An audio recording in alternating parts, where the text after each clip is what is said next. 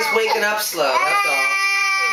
I know he's gonna be okay. He's okay. He has a very hard time waking up. He doesn't like getting up.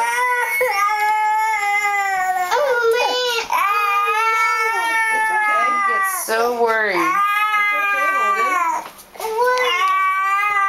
Holden, are you worried about Audley? Are you worried about your brother? Is he okay? Can you give him a kiss?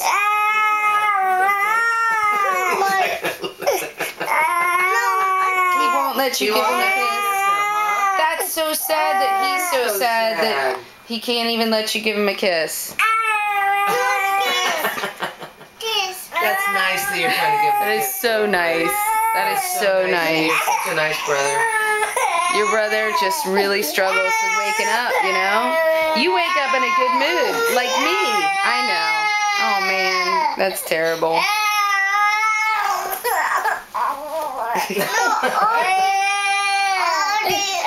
I know. You think he needs a kiss to be better? I don't think he, I wouldn't go in. I don't wouldn't go in know. there for a while. He seems to be a little petulant.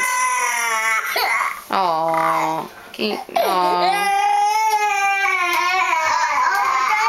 I know. Maybe maybe Daddy will make him feel better. Do you think? Yeah. Well, you did all you could. You're a good brother. Appreciate the love you try to show your brother. You're a good little boy.